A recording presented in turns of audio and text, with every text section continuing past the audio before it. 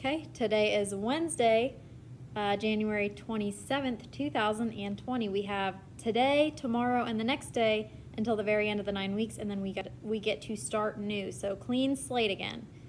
Okay, so we just have three more days in the nine weeks, and then we're finished. Then we're on the second nine or the third nine weeks, the second uh, semester, so the second half of the year.